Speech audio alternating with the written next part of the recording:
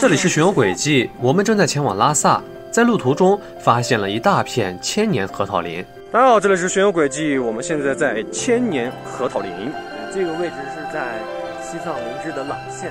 嗯，听说呢，这个千年核桃林里面哦，有一棵是两千多年，然后有几十棵是上千年的，然后还有三百多棵是上百年的核桃树。我们现在呢可以看到已经阴了下来，那我们现在呢就是在这棵核桃王树下边，对，超大的核桃王树。它的这棵核桃树呢，你别看它年龄大了，但是老当益壮。这棵核桃树呢，它每年可以产四千多斤核桃，而且呢，这棵树出产的核桃，它每年会以拍卖的形式去售卖，它不是普通的去拿出去卖，它是拍卖。去年的价格好像是五十五十块钱一斤。对对，因为平时普通核桃就十块钱一斤。这个核桃树有多大呢？嗯，反正就是大概这个树干哦，你用十二个人手拉手围起来。都不一定能把这个树干给围全。我们看到那个牌子上写的是这棵树的树龄有两千一百年。嗯，我现在这块还可以听到有人好像在打核桃。哦，就是打核桃啊，有人在打核桃。Oops。现在得是核桃的季节吗？大核桃的季节？不是吧？哎，我们靠，看，哎呦，爬到顶上了。上面有人打核桃，下面有人捡核桃。在古老的核桃树下，当地人依旧保持着善良与淳朴。这还捡核桃。哦。坐下吧，休息。好好好，谢谢谢谢谢谢谢谢哦，谢谢谢谢谢谢。哎，好，谢谢。这边千年核桃树的核桃，很热情啊。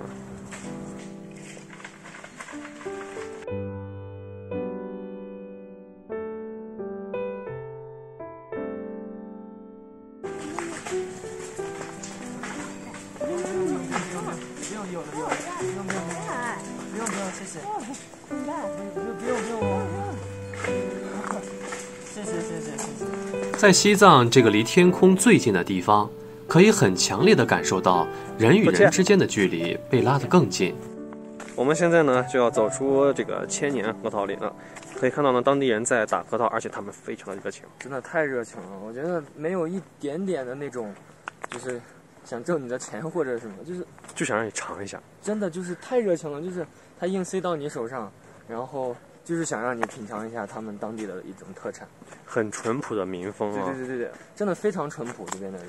我们现在呢就要走出这个千年核桃林，我们继续向前出发了。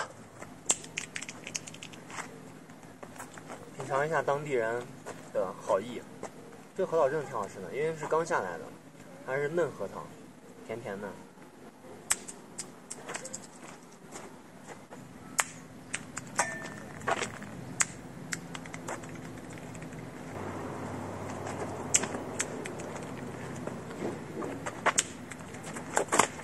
离开千年核桃林，继续向前，我们发现西藏的向阳处和背阴处是完全两个温度。我们在这个停车区休息一下，但是呢，我们发现这个太阳直射的地方以及阴处呢，它是两个温度。现在呢，我感觉穿这个有点有点凉了，但是呢，在太阳光照底下呢，就会感觉好晒呀，太热了。边疆的故事还在发生，快上车，让我们继续出发。